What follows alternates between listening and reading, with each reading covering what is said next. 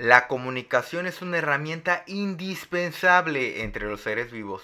Los humanos hemos creado miles de lenguas para facilitar nuestro entendimiento, al igual que métodos no verbales. Asimismo, nuestros compañeros del mundo animal han inventado distintas maneras para comunicarse entre ellos.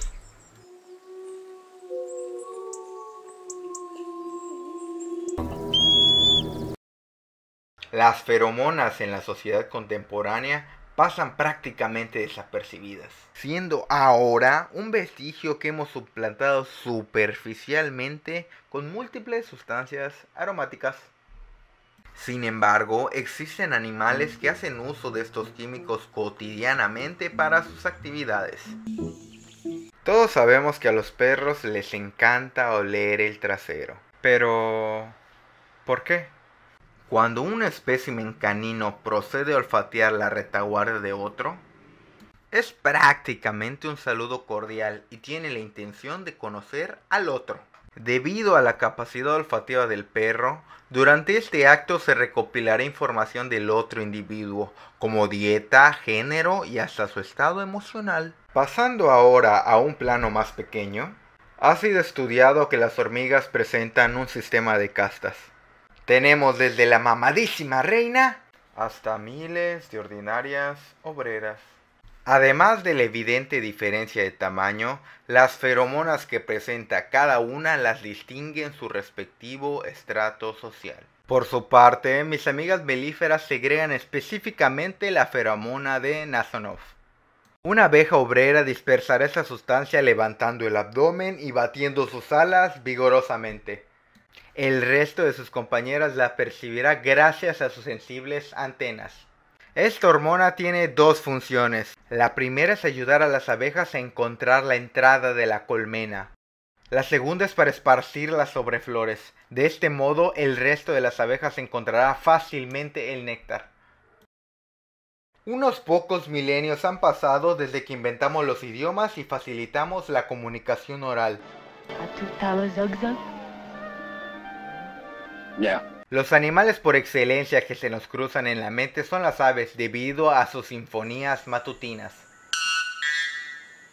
No obstante, la madre naturaleza tiene más ejemplos que enseñarnos.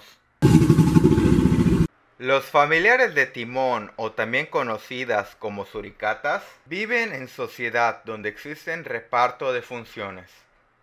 Entre ellos se encuentra el vigía, este individuo se erguirá sobre sus dos patas traseras y se posicionará en un lugar alto para ver a los alrededores. En caso de hallar algún depredador, avisará al resto de la manada. Y si la amenaza es grande, se ocultarán en sus madrigueras. Es turno de los anfibios. La diminuta rana de agujero de árbol de Borneo tiene un peculiar ritual para atraer pareja. Tras buscar por múltiples árboles de la selva, escogerá aquel donde encuentre una cavidad arbórea que cumpla sus estándares de resonancia. Una vez encontrada la frecuencia perfecta, repetirá su llamado a la hembra. En caso de éxito, la hembra será quien lo buscará para copular.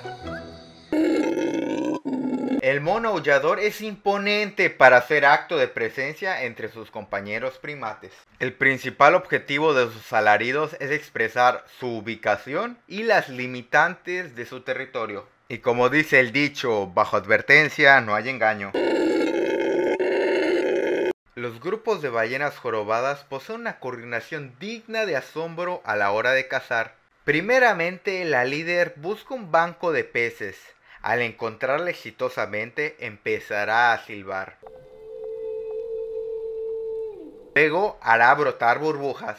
El resto del grupo seguirá su ejemplo y aturdirán a todo el cardumen, sirviendo así un banquete para toda la manada.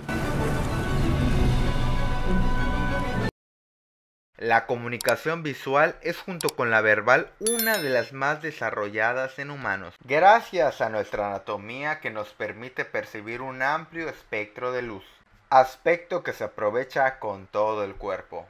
Tanto la indumentaria como las modificaciones corporales dicen algo de nosotros al mundo. Nuestros primos chimpancés bien lo saben. Gestos como levantar los brazos para golpear el suelo o mirar fijamente se tornan como amenazas entre individuos. Asimismo, un macho sacudirá ramas o pateará para hacer notar a una hembra su deseo de apareamiento. Y si de apariencia hablamos, no podemos ignorar los llamativos colores en la naturaleza. Las serpientes corales son especies ponzoñosas que han aprovechado de este fenómeno para advertir nítidamente a los que intenten depredarla que no acabará bien. De igual manera, existe un reptil no ponzoñoso llamado falso coral. Este mimetiza a la serpiente anterior para aumentar su tasa de supervivencia con su falsa advertencia letal. Los colores no solo sirven para repeler, también son útiles para atraer algo que aprovechan los machos pavo real para nunca pasar desapercibidos. Estética que presumen en cada centímetro cuadrado de plumaje. Este tipo de comunicación es la más remarcable en nuestros encuentros sociales, abarcando desde la introducción formal entre dos extraños hasta una expresión íntima de dos amantes. El macaco japonés es bastante popular por ser un primate fuertemente social ya que se han registrado grupos de hasta 200 individuos. Entre sus actividades favoritas para relacionarse es la cicalada, un acto que fortalece los vínculos y aumenta la confianza dentro de la manada, porque estrecha lazos familiares y de pareja. Cuando hablamos de bailes en el reino animal pensamos en caballitos de mar, avestruces, pero nunca lacranes. Estos intimidantes seres también conocen unas piezas románticas para conquistar. Todo empieza cuando se toman las pinzas mutuamente. Él trata de excitarla dándole caricias en la boca. Mientras esta estimulación ocurre, ella está poniendo a prueba su fuerza de agarre. Si sale exitoso para el macho, él depositará su esperma en ella que se encuentra solidificado y adherido al suelo. Para que veas más maravillosos bailes del reino animal, haz clic en la etiqueta que está apareciendo. La verdad es que nunca me he peleado en mi vida y tampoco soy fan de la UFC, pero admito que suelo ver detenidamente muchas peleas del reino animal. Las jirafas me resultan de lo más impresionante. Tan solo míralas, pelean con el maldito cuello. En esta escena tenemos al macho dominante y a un joven subalterno dispuesto a batallar por ese lugar para reproducirse. Durante un roce inicial pretenden demostrar quién es más alto ante la hembra.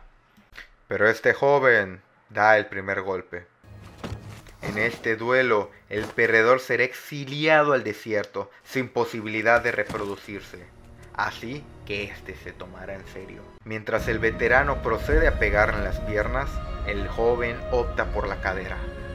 Todo parece acabado para el viejo. El joven atacante se dispone a dar el golpe final. Pero con una gran precisión el veterano espera el momento exacto para esquivar el ataque. Inmediatamente golpea el abdomen del joven macho, ocasionándole un knockout. Alargando así su reinado como macho dominante. Somos Miguel y Mr. Capi, espero les haya gustado el vídeo. Hasta la próxima.